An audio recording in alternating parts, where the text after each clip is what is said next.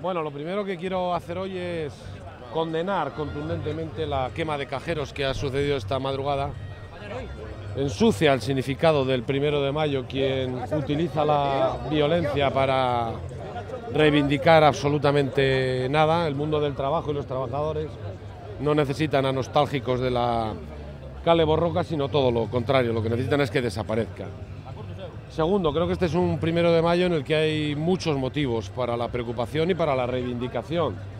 De hecho, en Euskadi hay más de 178.000 personas sin empleo y hemos conocido que es la segunda comunidad en destrucción de empleo, más de 5.500 empleos destruidos en el último trimestre solo por detrás de Madrid, lo que indica que, que las señales de alarma están encendidas y que todas las instituciones deben de tener como prioridad absoluta trabajar para crear empleo y para reactivar la economía, cosa que no estamos viendo por parte del gobierno, que sigue pensando que estamos en el tiempo de los planes cuando estamos en el tiempo de las acciones concretas. No puede ser que el gobierno vasco los únicos programas que esté llevando a la práctica en este momento sean los del 2013, los que van a cargo del presupuesto del 2013.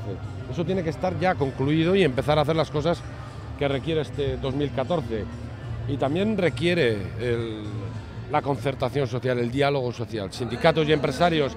Y no puede ser, por ejemplo, que el sindicato mayoritario de este país, ELA, se niegue a participar en los órganos sociolaborales y en una mesa de diálogo social que es donde se defienden los derechos de los trabajadores y de las trabajadoras.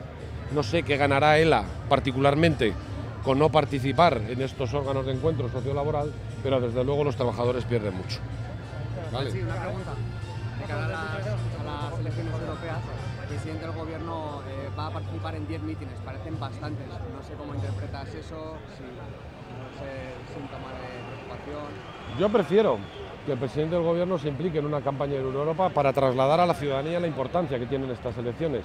Y porque además estoy convencido de que cuanto más se movilice la gente, más votarán al Partido Socialista porque la gente eh, entiende que lo que hace falta es cambiar de política y cambiar la política de la derecha que nos está imponiendo. Pero para hablar de Europa tenemos aquí al mejor interlocutor. Tú también vas a participar activamente, no sé si también es un intento de darle visibilidad a tu candidatura. No, en absoluto. No, en absoluto. Es intentar trasladar la importancia de las elecciones europeas. Vale.